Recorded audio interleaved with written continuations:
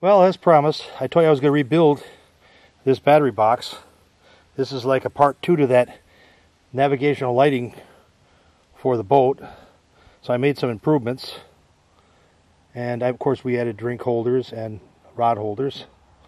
And I built the battery gauge here. Now it's pretty sunny. I don't know, but I don't want I don't want I don't know if it's gonna be show up or not. Let's try it. I guess you can see it. Yeah, there. You can see it. 13 volts. I got two bars of health. See, I don't want it run all the time, so I built a switch. And of course, the light switch is over there for the navigational lights. Got a new strap that's easier to put on.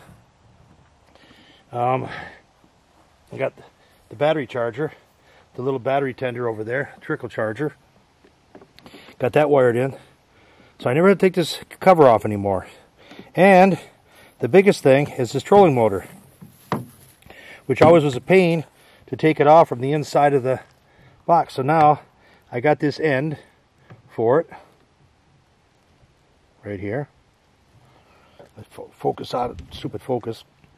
And then it plugs in right there. So now we take the boat out of the water. It's always dangerous because if someone bumps the handle and you got to worry about that prop down there spinning. So now we just keep it disconnected.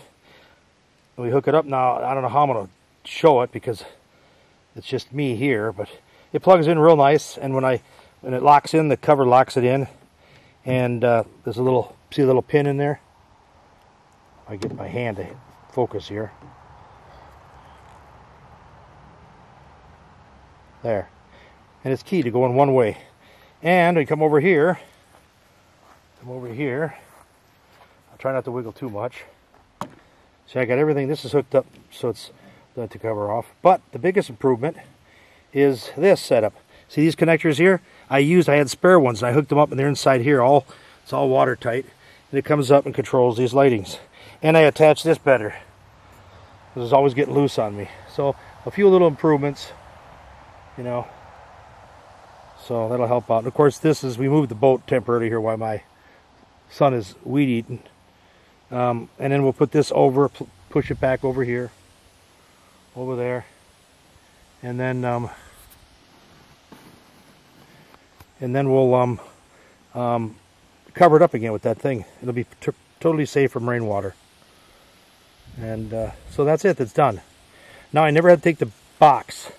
And it's so much nicer having a gauge, a gauge on here to show um, the health of the battery. Especially when you're going across a lake. That's good to know that. So it makes it nice. And another thing we added too, of course I used all these waterproof and shrink tubing connections here when I connected them together. Down there, you see that rudder?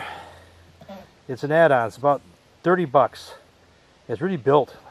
But the biggest thing I have with this thing is when we're going across, especially when it's windy, that the, the, the unit wanders all over. So I'm hoping by using this, uh, I got to bring the motor down, you know, little, I got it up higher right now, but got to lower it down so it goes the water further, down a little deeper, because it's got to be in the water to work. So I'm hoping that that will stabilize, make it easier for me to steer straight ahead. I heard good things about it. I'll give all links to everything in the, that I bought and did this to in the, the below the video. And uh, this box about 60, 70 bucks. They have all kinds of USB jacks and stuff on it, which I didn't want. I figured I'm going to build my own. So, I don't remember all the prices offhand, but I will do all that in the in the video. Below the video. So there you go that's it. Everything's quick connects. And they got these nice little covers to keep when I'm not when I'm not using them keep these things unplugged. And then when I take the battery in for the winter everything stays together and everything I don't I never have to take the cover off because it's just annoying to do that especially when you're trying to get in the water so I uh, if you're interested in building something like this, you can save yourself some money. It's sort of fun doing it. It's aggravating to search out all these parts. It took me forever to find all the parts. And um, um, I'll leave all the links to all the parts that I use, and you decide if you want to build one. At least it'll be easier for you to find all these parts. Because that took the longest, looking for all these little nooks and cranny things. And um, Um, I guess I could show you the underside of the cover. I, I will. Little special hookups. You may not want all these connections on here, but this is the bare minimum that I want and need. Okay. This is how nice this comes apart. Just like that. And then this folds back. I got a little bit of slack. A little bit of slack here.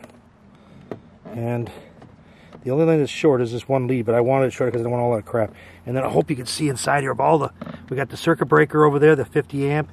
You got the lights, and uh, um, lights are the 5 amp, 5 amp uh, uh, fuse. The um, the switches and stuff, and that gauge 5 amp fuse. And then the, the navigation lights on a 7 amp fuse.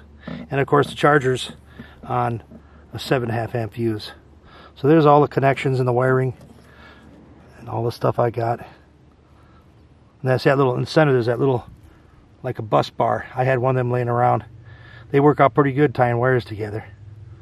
So pretty nice. And I got uh, silicone dielectric grease on all the connections to sort of help out. And there, there, that's it.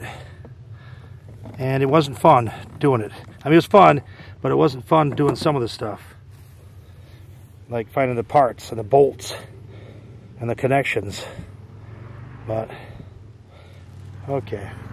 And there's the trolling motor plugged in right there. See, it locks in real nice. And then you just turn the handle here, the prop should run. And there you go. And then when we get to the, this, I'll be disconnected because it's always a danger. Before I had to lift this cover, roost some wing nuts to get that thing loose. Now all I do is when I have this thing disconnected, and it's a waterproof cover, and now if someone bumps it, they're not going to get hurt by the prop. And so it's really easy, nice, simple is what I like. And that's it. That's it. It's about almost 100 degrees out today, so it is miserable. So I didn't show the um, uh, doing the um, uh, inside the box all the little connections and stuff because you know more likely if you do it you could do it your way. And uh, it's my way is my way and it was just a pain in the butt. I, I would have stopped and i would have had about a thousand hours of video making it. it took about a total probably about four or five hours to build the box from scratch. And uh, that would inc- that would include maybe a little bit of time looking online for the parts. So i didn't film that um, because um, um, it just it's it's meaningless because unless you're going to copy exactly what I do, you may not want a battery gauge or that quick connect for the trolling motor, so it'd just be a waste of time. But it's it's real simple doing the the, the work if you're handy with basic electrical stuff, and uh, don't be be sure to put fuses in line. That's real real important. Well, that's it. Like, subscribe, and share. Thank you for watching.